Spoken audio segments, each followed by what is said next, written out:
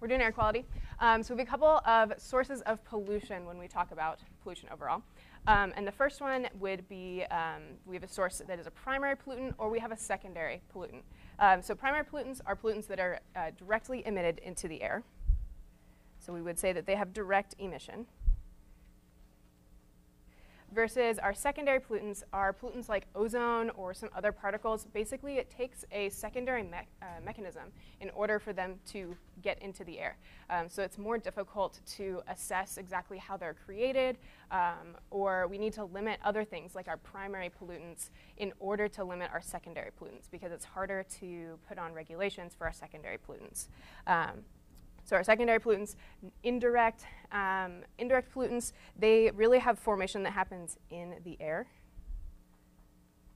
So um, you have to have, um, basically you have to have some reactants in order to form this product, going back to chemistry. So we'll talk a little bit about ozone. That's one of our major secondary pollutants. Um, and we'll talk about smog. Um, so those are key ones that we actually tend to be pretty familiar with when we're talking about air pollution but um, overall, those are our big secondary pollutants. We still need to have regulations for them, but they're a little bit more difficult to regulate just because they aren't uh, immediately emitted into the air like our primary pollutants are. Um, so that tends to cause a little bit sometimes of an issue, or at least it's a um, it just causes a little bit of a challenge um, for us to be able to regulate and effectively treat those. Um, and the next thing is how we do this. We use um, what's called the Air Quality Index, also known as the AQI. Um, so different uh, companies, um, the government, um, keeps track of air quality indexes. Um, so I found a site called iqair.com. There's also EPA governmental sites. iqair.com actually happens to do uh, global things, so we'll look at that momentarily. but our air quality index is relating our daily air pollution concentrations um, for our criteria air pollutants um, measured in a particular geographical area uh, to concentrations of our air pollutants overall. So it's a, it's a relative number, and the numbers here are generally at 0 to 500. By generally, I mean that is the range. Um, so it's a relative scale.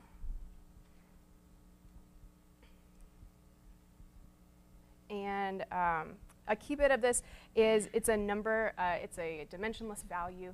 So when we are talking about them as this like combined number, uh, we're not necessarily looking at how much exact carbon monoxide do we have, how much exact ozone do we have, how much exact particulate matter do we have. Most of the time, uh, that's a combination of all those. So we get this um, really unhelpful value in one sense um, because it's like 2. What does a 2 mean? A 2 is actually really good. Most places don't have an air quality index of a 2. Most, most uh, good air qualities hover around like uh, 15 to 30 or so. Um, and as you increase in your number, you're getting worse air quality. And it's a um, combined number, 0 to 500, it's a combined number of all of our criteria air pollutants that are contributing. Yeah? How do you measure something? That's like dimensionless. How like how do you get that number? Um, other people have done empirical formulas to figure out what this number is and to make it usable. Um, so it's not just a number that sits and is like, okay, well, what does 500 mean? Um, they are um, considering um, how much ozone contributes to human health. Um, the tropospheric ozone contributes to human health. How much CO2 contributes to human health. So there's some factors in there that are probably a little bit past this class that actually go into what the real number means. But we are actually going to look at this particular site because it's quite fun. Um, or I think it's quite fun. You don't have to think it's quite fun. Um, so let's bring, let's bring us back over here. Okay. We're going to share this one. Yes. Awesome. Okay. Mute that. Okay, so this is Cedarville's. Um, so this is on iqair.com up at the top. This is our air quality today. Um, it was taken at 10 a.m. November 11th. Um, and in this particular site, we can look at the US AQI, which is how we're measuring it. So we're at 21, which is really good. Um, that's why it's green and it says good. We like that. Green generally means good. Um, and you can look at these other factors in here. So the pollutants that are contributing to today's maybe poorer quality of air, but it's not really poor quality, but the things that are basically making it not zero, um, are PM 2.5, so we have some dust particulates in the air. Honestly, it's probably because we're in corn harvesting season, um, and so there's a lot of corn dust that's around. Um, it doesn't look like they're doing a whole lot of corn um, like removal today. Otherwise, our pollutant level might be a little bit higher. And it can give us our concentration. So I'm not actually sure where they've measured this specifically from, uh, but someone is doing some measurements here, or at least tracking it maybe in the Dayton area, and then they're projecting it onto um, basically based on winds and that kind of thing from uh, or what happens in the Cedarville. Um, but you can look at all these. This has a projection, so it has our forecast of what we expect it to be. So today our high is at 55. Um, tomorrow will be similar, um, but we're in pretty reasonably good air quality um, deals. If we come over here to what they're calling the pollution map, this is showing us all the surrounding area. So here is Xenia. Cedarville's a little too small to actually be on this map um, at this level. So we're just going to keep zooming out. Find your hometown. Find places that, uh, who's from Boston? Kai? Kai? Yeah. I was looking at Boston the other day. I had higher expectations of Boston. Um, I thought actually that you would have worse air quality than you actually do. Where is it? I'm not actually good at finding things. Sorry. I, I expected Boston to have worse air because it's a city, um, but it actually looked like relatively fine. Um, so there's a lot of things going on on this city, or not on this city, on this map. Um, so the little white streams are wind. Uh, you can see there's fires that are noted. So fires actually significantly contribute to our air quality. If any of you guys have been around fires or been in ashy areas, it's uh, very unpleasant. What about like the fires that are like in the Amazon or like, you know, Brazil? Hmm, let's go down and see it. They actually do the entire world down here. Um, so, you mean like these fires? All down in here? I don't know how to say any of these terms. You're going to have to help out with that. Um, but yeah, so there's a ton of fires down here, and actually, it doesn't look like they're significantly contributing um, because our air quality is generally not super terrible. Like we have 12, 6, 42. If we're on a scale of 0 to 500, like these are actually pretty solid. Um, so maybe we aren't measuring it as um, attentively as we could because you can see there's lots of fires in here. Um, and there's not a lot of station points. We have 12 and 6 and maybe 15 over here. So we don't have a lot of points that we're actually getting. Um, but potentially that means we could do a little bit better job of actually getting those. If we come over to Africa and Europe, especially looking at India, India and China tend to have really, really poor air quality, just as a rule. Um, so you can see in here, 211, 213. Um, this is over in our Uzbekistan's area, Uzbekistan, Afghanistan, all of those. Um, so those tend to have really poor air quality in part because they have different regulations than like what the U.S. has, um, and they also um, they have different geography. Um, so how the wind moves along the land over there looks a little bit different. Um, therefore, when um, when it has poor air quality, some of it sits a lot longer than it does in the U.S., where we have a lot of really open plains.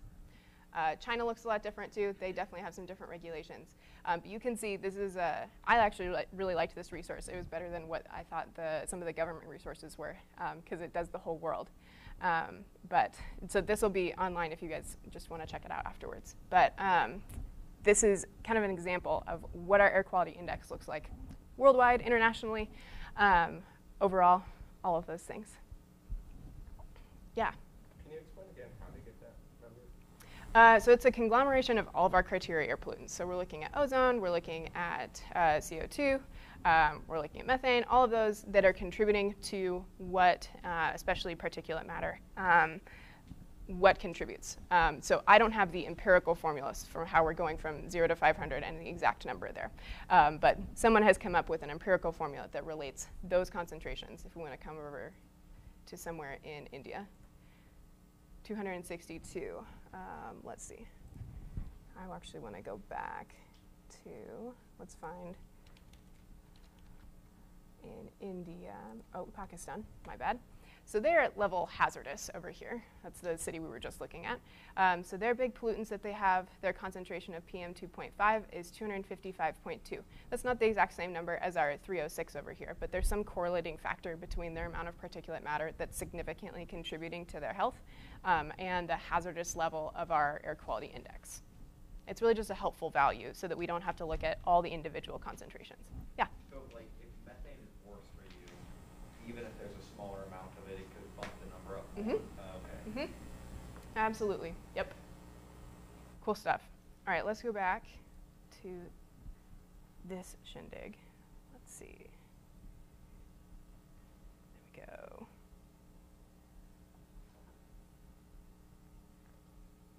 Yes. Okay. So that's our air quality index. Uh, you can look at it for your hometown. Um, as long as it's bigger than a village, about a thousand people or so, especially in the US, um, we'll probably have information for it. Um, big cities are definitely more regulated. They, they need to have those numbers, um, especially ones that are a little bit more industrial based. Um, Cedarville, probably not as regulated to be reporting its air quality index or specific values. But Dayton, uh, or industries around Dayton, definitely would be. Okay, so in this, one of our big sources of pollution has to do with photochemical smog. So we don't really call it photochemical smog most of the time, but that's what it is. Um, so the photo portion is talking about photosynthesis, and the chemical means we have a chemical reaction. Smog, we'll get to what smog is.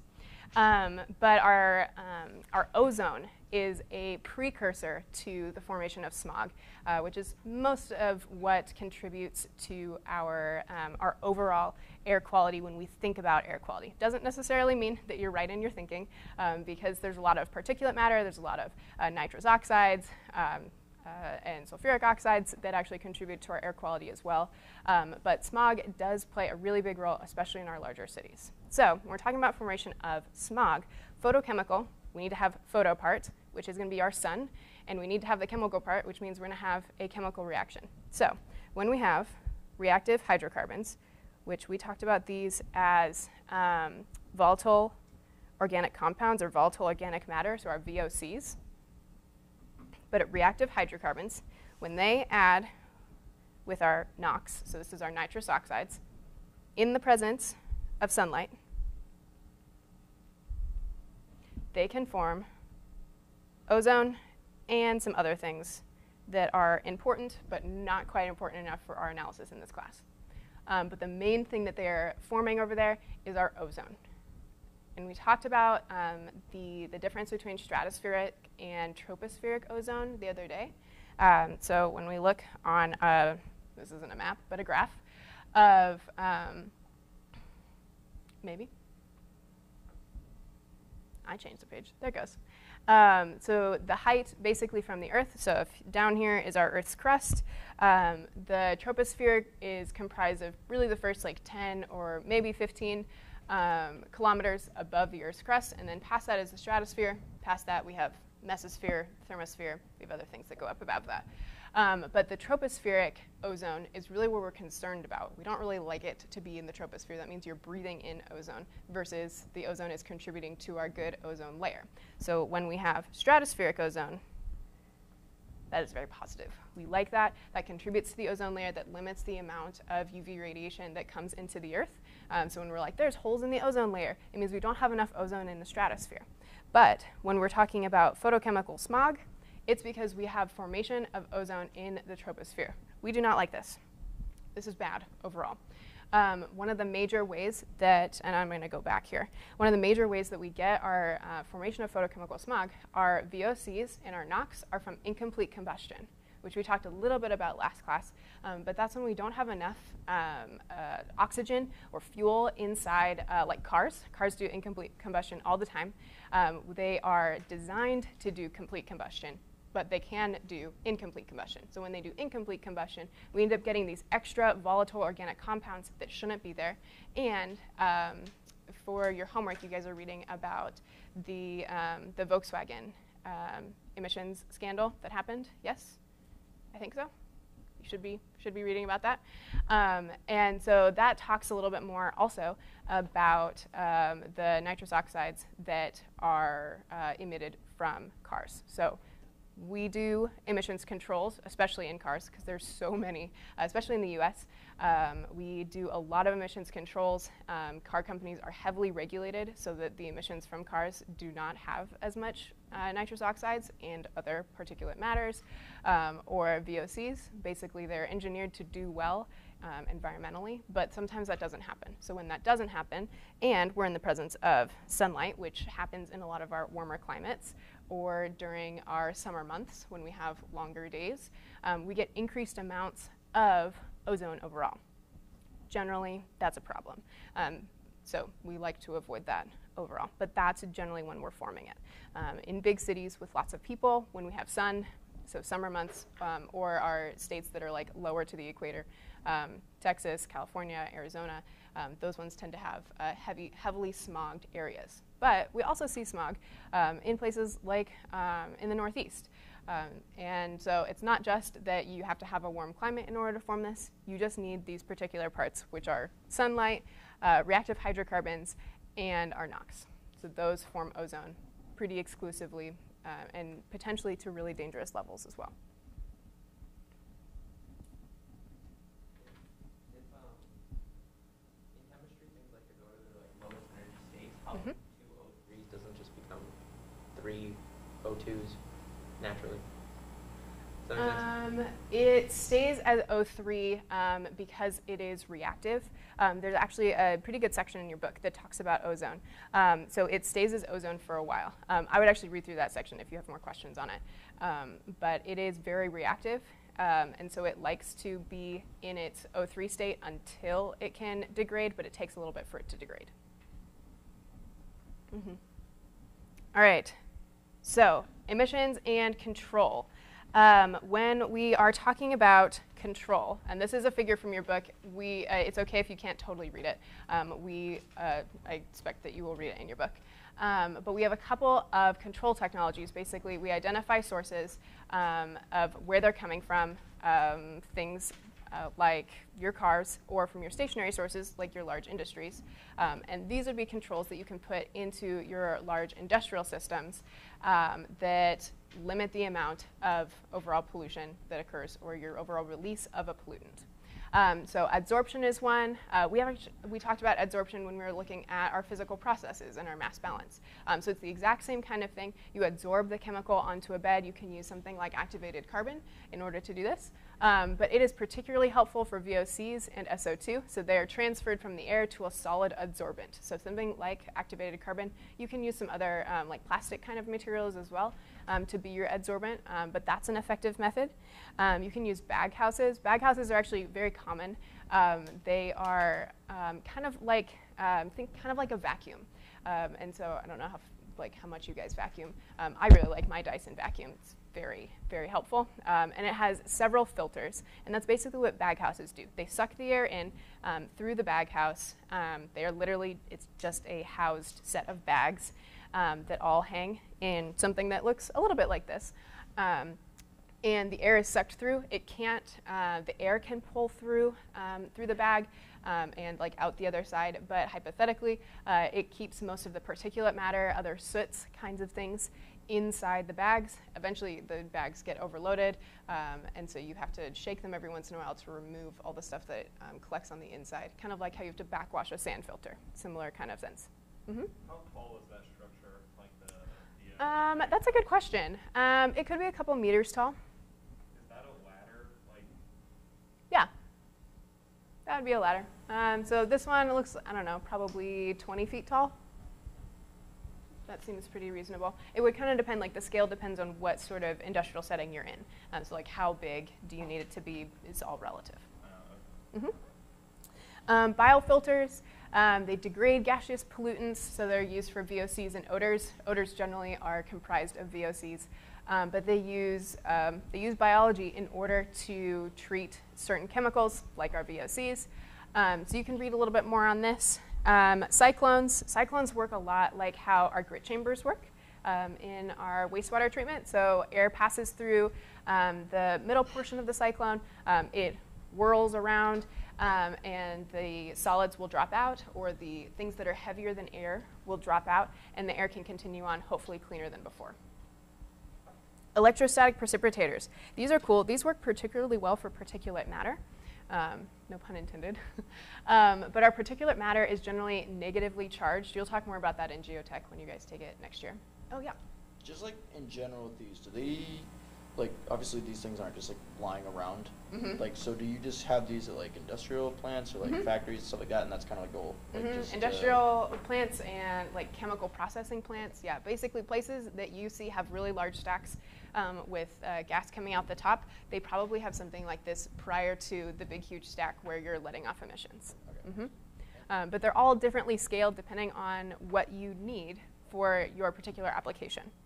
Uh, so electrostatic precip- precipitators, particulate matter is charged by applying a high voltage. A lot of times your uh, particulate matter is already a little bit charged, um, but you would further charge it to like increase its capability of being um, removed through electrostatic precipitation. Um, and then um, the charged particles are forced through these collection plates. Um, it's really kind of a cool process. I didn't, uh, I wasn't able to find a video on electrostatic precipitation, but you probably could find um, some, some pretty cool resources on it. Um, and then packed bed absorption, um, it uses uh, what's called scrubbers. So scrubbers are like air scrubbers, are really common for chemical plants that already have lots of chemistry going on. Um, and so scrubbers in general, our packed bed absorption is usually using an addition of a chemical in order to um, remove other uh, other chemicals. So SO2, NH3, HCl. Um, so they actually, uh, you know, we are regulating for our SOx, our sulfur oxides or sulfuric oxides, but they actually use that as um, a, uh, a means of getting rid of them. So sometimes we'll actually add things like HCl, um, our hydrochloric acid, in order to remove our like worse pollutants, more or less, um, which actually helps us in the long run. It then means we probably have to do an additional method of getting rid of um, whatever waste material that we're creating, which we're creating a lot of waste material with all of these. Um, but it's better than having it go into the air and having us have to deal with it once it's in the air, because it's a lot more difficult to deal with air that is already out there that people are breathing, rather than before you put it out there, how can we manage it well? So a lot of it is about managing it well before we put it out in somewhere that is really unmanageable.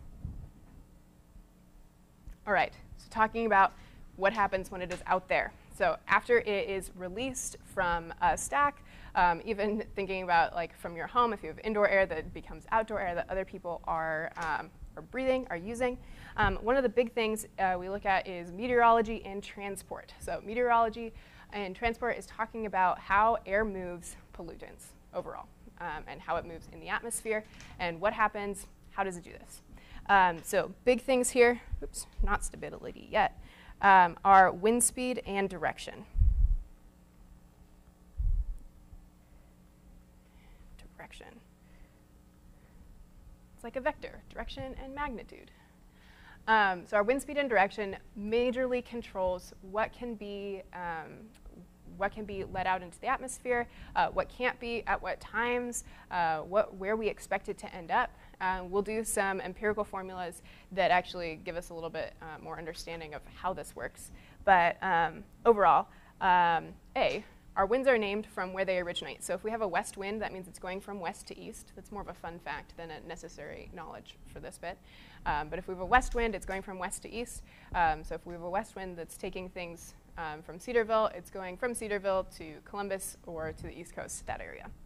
Um, additionally, um, our speeds increase with height. So I'll show a graph momentarily, um, but as we get basically further from the Earth, our speeds can increase. And um, if we have fewer obstructions in the way, so if we live in a rural area that doesn't have tall buildings, we can get greater winds than if we live in a place um, even like Chicago or New York City, LA, bigger cities that have taller buildings. Um, we have a greater potential for having higher winds. Even though Chicago is the windy city, um, it would be a lot windier if it didn't have all the buildings in it. Yeah. Like when you see, when you say it increases with height, is that like above sea level? Like it's gonna be windier, like I don't know, in a, like in the Midwest than it is the coast, or are you say Not from quite. local ground? From the ground level that is there. Um, I'll show a figure in a moment. It's in your book. Um, but I'll show a figure in a moment that expresses that a little bit more helpfully, maybe. Um, but the other portion of this is what we call stability. So stability has a lot to do with um, what, uh, what air pockets are actually doing. Um, and so, do we have an inversion? Um, do we have hot air on top of cold air? Do we have cold air on top of hot air? Um, and then, how does that affect what our plumes look like? Uh, which a plume is uh, basically what comes out of our stacks, our stack um, being the portion that is uh, uh, associated with our, our industry.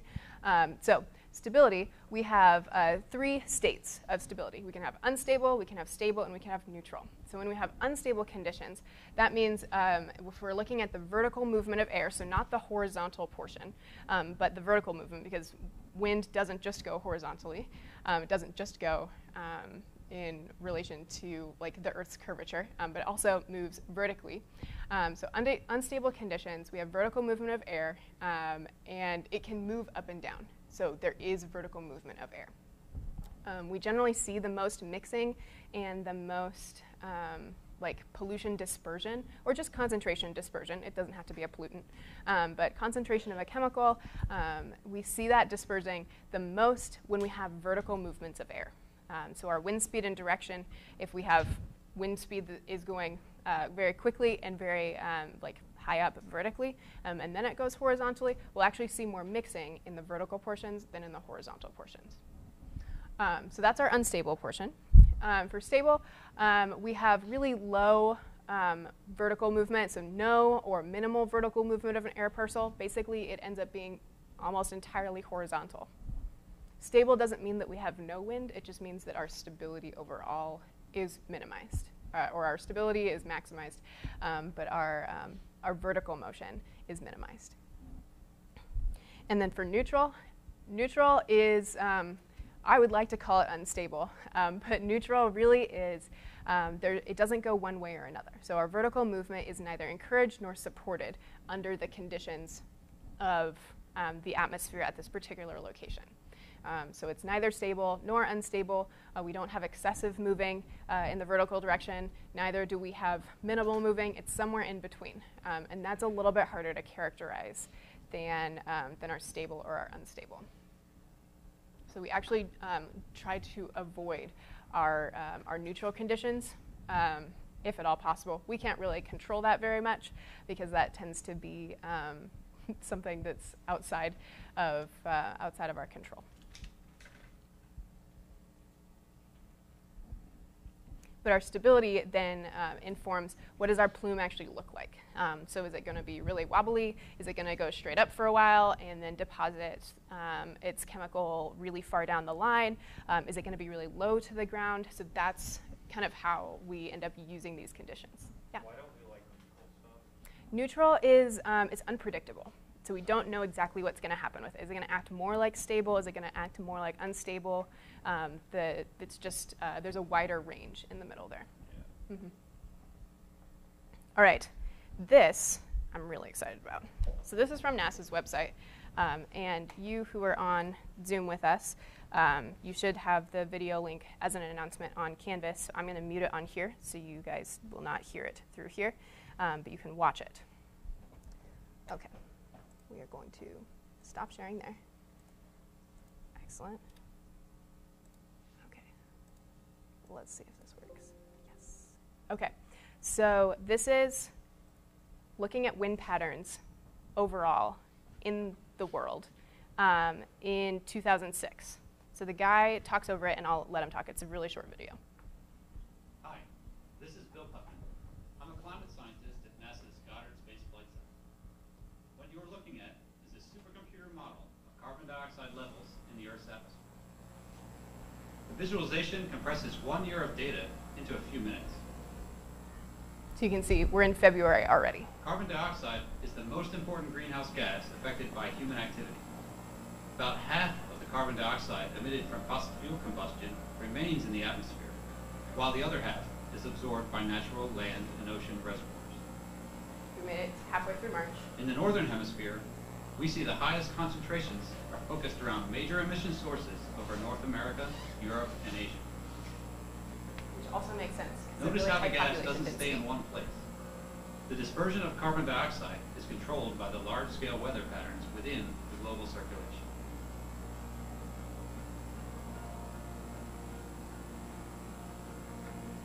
So You can see the During red is moving down. summer in the northern hemisphere, plants absorb a substantial amount of carbon dioxide through photosynthesis, thus removing some of the gas from the atmosphere. We see this change in the model as the red and purple colors start to fade. We've made it to June, and there's a significant reduction because our plants exist and are in full bloom all across the northern hemisphere.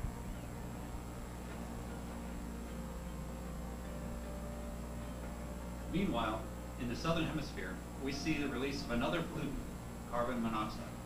This is a gas that's both harmful to the environment and to humans. During the summer months, plumes of carbon monoxide stream from fires in Africa, South America, and Australia, contributing to high concentrations in the atmosphere. Notice how these emissions are also transported by winds to other parts of the world.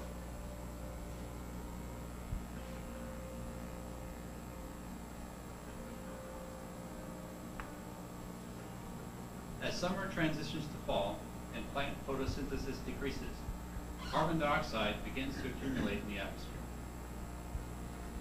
Although this change is expected, we're seeing higher concentrations of carbon dioxide accumulate in the atmosphere each year. This is contributing to the long-term trend of rising global temperatures. The Orbiting Carbon Observatory 2, or OCO2, will be the first NASA satellite mission to provide a global view of carbon dioxide. OCO2 observations and atmospheric models like GEOS 5 will work closely together to better understand both human emissions and natural fluxes of carbon dioxide. This will help guide climate models toward more reliable predictions of future conditions across the globe.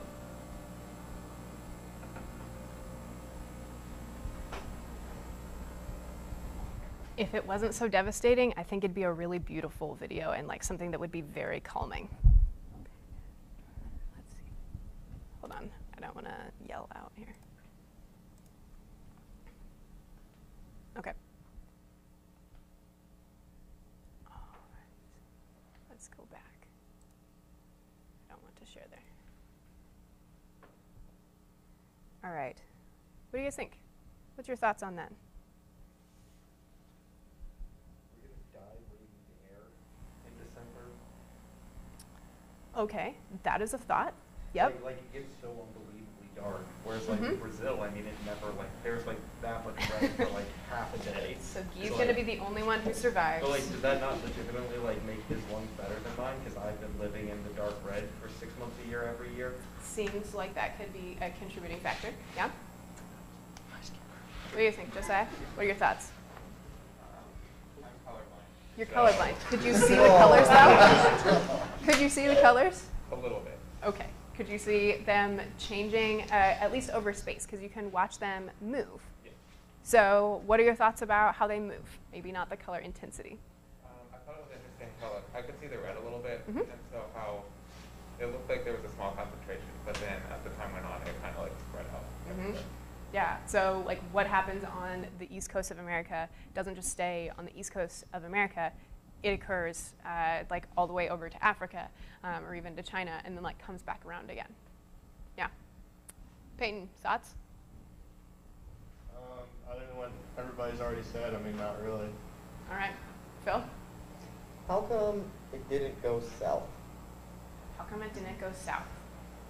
Like, all the northern hemisphere was covered, but like, Mhm. with airflow, wouldn't it naturally drift south versus it really didn't really get below the equator like at all? What do you guys think? You can be wrong. It's okay. Is it just wind pattern? Some of it totally is just wind patterns. Mhm. Yeah, Kyle. Also, like, I feel like the continent shape, more of the landmass is kind of in the north, like in the northern part of the Earth, if that makes sense. Like if you bisected the Earth, there's more land right, the top like the U. I mean, like the U.S., Greenland, like you saw, and like Russia, all of Asia, that kind Mhm. of stuff farther in the north, so Mhm. that stuff would change much more dramatically with the land. yeah, absolutely. Mhm. Doesn't the Amazon make up like half the total trees in the earth? So it makes sense that if like the Amazon's taking carbon dioxide out, that it wouldn't be as concentrated there. That would make like, sense, yeah. Colonic America. hmm I don't know about the half the trees on the Earth uh, statistic, but um, yes, places that are highly forested um, have less susceptibility to like being like heavily carbon dioxided. Um, that's not a verb, but we can make it a verb today.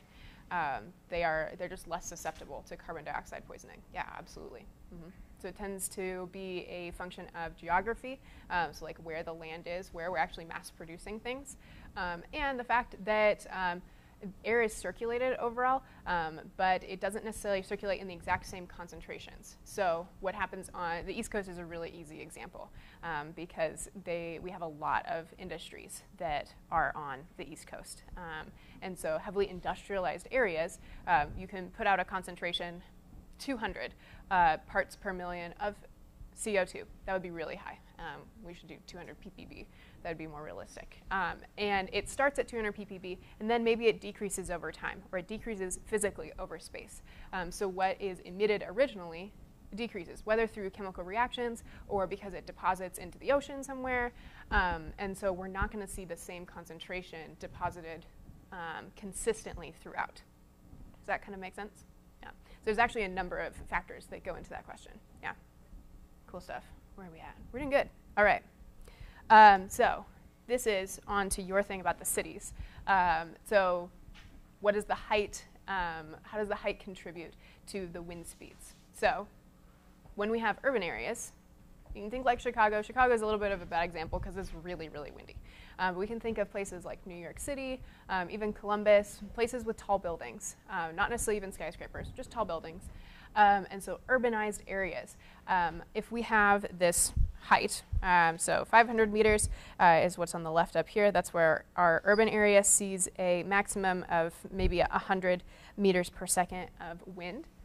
Um, so it has to reach a much higher height in order to reach this uh, 100 meters per second wind speed versus our suburbs, our level country, our rural areas can achieve that level of wind speed at a much lower height because there's fewer obstructions. There's fewer things to stop the wind from going that fast.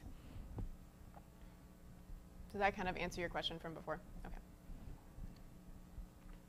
Awesome. All right. So going into this, how does it affect um, how does um, things like inversions, so when we have a cold layer um, underneath a warm layer uh, of air, um, how do those affect what our plumes look like? So this is a stack that's just sitting on the ground that has some um, level, some concentration of pollutant emission overall. We're really looking at the shapes though.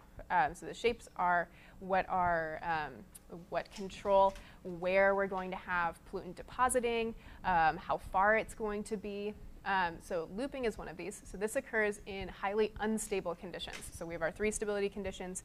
Um, this is a highly unstable condition um, that happens. But looping actually isn't really all that bad. Um, looping, we actually, uh, it's a little bit convenient. We have a rapid turnover of air, um, and they're favorable for dispersion because they result in low exposures. Because we'll have a little bit um, that is at the bottom down here, we'll have, uh, like the same amount of concentration, but some of it will be deposited at the top. And if we have some homes that are probably not nearly this close to an industry, we have some deposition that happens on these people's homes in this uh, in a close um, proximity, and then we have movement that goes up uh, so we're not losing all of our pollutant concentration immediately. It's not dropping um, just on the first set of houses. Um, it just continues going. And then on another suburb, we might have some more deposition. Deposition isn't necessarily the worst um, because we end up having a wide dispersion of our pollutant. Not that we really want to like have lots of pollutants out there, but it'd be better if everybody gets a little bit of a concentration rather than somebody getting a really high level of concentration or like one city getting a really high level. Um, then we see hospitalization cases, and we have things like what happened with Donora, um, and like really high levels of smog you can't see in the middle of the day. We try to avoid those kinds of things. Um, so looping actually isn't as bad as it might look. Fanning. Fanning occurs in very stable conditions. Um, so an inversion means we have warm air up top, and then we have cold air that traps, um, uh, it basically traps the plume um, to not be able to like increase in height. Um, so the ground tends to be warm because it receives sunlight in the middle of the day. Um, and then any cold air that maybe uh, so like during the night, we have cold air that, that happens, especially here when we're getting down to like 30 and 40 degrees um, or colder, and like we are in the negative degrees. Um, but then um, the cold air rises as air and um, the actual Earth itself is warmed up during the middle of the day. Um, so if we have warm air that somehow gets trapped up at the top, but we have sunlight that's coming down and warming this portion down in here, we get what's called the, this inversion. Um, so it traps the cold air in between two layers of warm, and we end up getting plumes that look like this. Um, they're very straight. Um, I actually think it's kind of fun now that I know a little bit more about air quality um, to look at different industries um, as they are putting out their emissions and uh, trying to guess what kind of uh, conditions we have based on what their plume looks like. I think it's actually kind of a fun game. It's a bit nerdish, and I'm okay with it. Um, but that's what an inversion looks like, and that's how it would directly affect what our plume type is. Oops, not here. Uh, we have things that look like coning, um, so it literally looks like a cone. Engineers were great and called it coning. Um, when we have neutral conditions, um, they could be uh, neutral or slightly stable. Um, basically, it starts small and ends up large, um, but we aren't great at determining where the large portion actually reaches a maximum at when we have neutral conditions because neutral conditions can be really varied. Lofting uh, is when we, it, you can see, it's basically a straight line, like right off the top of the stack, um, and then it increases over top. So we have a release of air pollutants just above the inversion. Um, the air above is unstable, so we have this vertical mixing that happens. So all along the top, we have lots of mixing, but the inversion underneath, um, the, the warm air keeps um, the pollutants basically from depositing. Um, it tends to be um, that increases the amount of distance that um, pollutants take in order to actually deposit on the ground. And then fumigation. So this is the opposite of lofting. So air pollutants are released below an inversion layer, and the air below the plume is unstable. So ground level receptors can be exposed to high levels of air pollutants. We generally try to um, avoid this. So when we're under conditions where the um, where the stack would have a fumigating plume, we, um, we limit the amount of emissions that they are allowed to actually release at that time because it'd be a really high concentration for the homes or the people who are living or the businesses that are there um, for the city that's very close. Um, if we have a house that is oops, within this realm right in here and right in here, they're receiving really high concentrations of whatever pollutants are within those emissions. So we try to avoid those.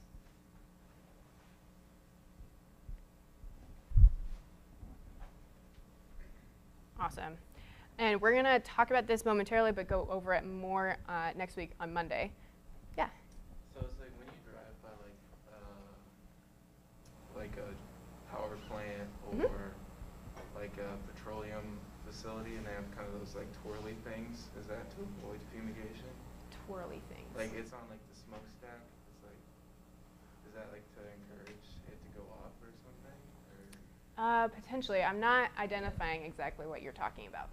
Um, but very possibly. Um, it could either be to change the shape of how it comes out, which you have a little bit of control over, but not a ton. Like if there's an inversion in the air, if we have a warm front or a cold front, like you're not changing what the air looks like. Um, but it could also be to change the height at which um, we release um, some pollutants from. Uh, so if we're doing that, um, then they've probably identified um, that their, um, their concentrations are going to be too high for people who are living close. Um, so then they wouldn't meet standards, uh, appropriate standards there. Um, but I'd have to look that up a little bit more. Yeah. Can you explain what happens with the, uh, like with the inversion again between like lofting, which like stays level and goes Mhm. up, which is good, and then fumigation, which like is level and goes down, which is bad? Yeah. So fumigation is particularly bad because you end up getting high concentrations that you can't disperse. Um, any dispersion that happens um, in like the looping is we have a little bit that comes uh, like comes down. It literally does a like looping. Even within this, we end up seeing looping all in here.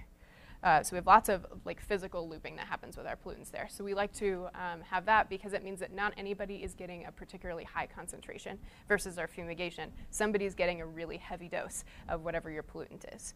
Um, your lofting isn't actually necessarily better, it's just different. It means that the people who are living close are not going to receive any sort of pollution, and people who live further away, uh, depending on what the air pollution or air dispersion qualities look like. Um, so, is it staying in a straight line? These are all showing 2D images, so we're not showing the spread that like would come out of the page. So is it really spread well, um, or is it like basically staying in a line? That would also depend on like wind speeds and that sort of thing too. Um, so there's actually uh, like there's a third dimension that we're not really considering with what these figures actually look like too, which contribute then additionally to um, people's health and safety. What does that actually look like? Um, but with inversions, basically you have a warm front on top of a cold, or you have warm air on top of cold air, so it's trapping it, um, trapping it underneath. Um, here you would have your warm air here, and cold air here. Here you have cold air and warm air on top. That's just an inversion. Normally we have our colder air above and our warmer air below. Because as we're heating the earth with the sun, we don't do it. The Lord does it. As the, as the sun heats the earth, uh, we tend to have warm air below um, and cold air above. Yes? Is theoretically the best, given the situation? Um, so it kind of depends. Um, it depends on where people's homes are um, or how big your city is, um, kind of what you're dealing with. Um, coning is the least favorable. Coning and fumigation are probably the least favorable. Coning mostly because it's uncertain, uh, and fumigation because if people live close, there's no chance for them to be like, there's no like out of sight, out of mind. It is in your face. Um, and then um, fanning fanning can be okay. Um, it depends on how far it's going to go. Um, and fanning and lofting actually tend to look pretty similar. Um, but I'd say probably looping is the most favorable, mostly because it hits everybody relatively equally.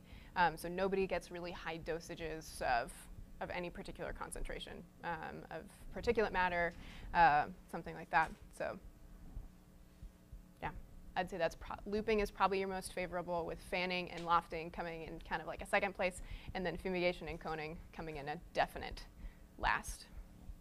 Yeah. Um, so on Monday, we will talk about how to do um, analysis and assessment. So we'll do Gaussian distributions. Um, so you can look forward to doing some math. Um, could probably also look forward to doing a quiz on Monday because uh, we didn't get one in for solid waste. Um, so that's something to look forward to. Uh, any other questions? Any other online questions? I see you're chatting down here, but I did not actually see them. Uh, most of ah Isaiah had uh, Isaiah and Grace had comments on when we were talking about the CO2 in the atmosphere.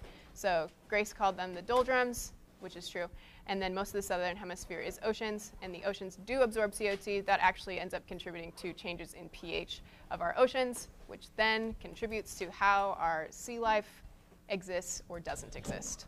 If they're very sensitive, they don't like pH changes. Cool stuff. If you guys have any more questions, feel free to stay after.